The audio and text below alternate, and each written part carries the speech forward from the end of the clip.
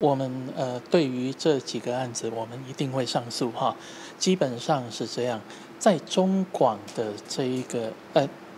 这个案子哈，法院对于当产会历年调查所得的这一些关于事实的还原，法院并并没有呃驳斥啊。法院也承认当产会这几年调查的事实的真实性，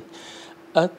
党产会的见解，在法院看来，法院认为党产会见解呃不对的地方在于说，法院认定呃中广是在卖给荣利的时候脱离国民党的实质控制，但是党产会这一边认为，因为卖给荣利的这个时候，事实上还没有脱离国民党的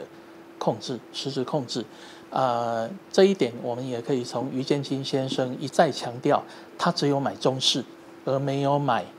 呃中广，这一点可以得到证明哈。那呃，所以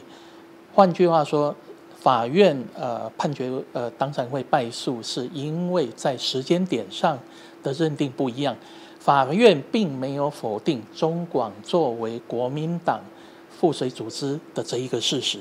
啊，那。只是时间点上的不一样，那当然我们会与律师呃商量之后，我们会提起上诉。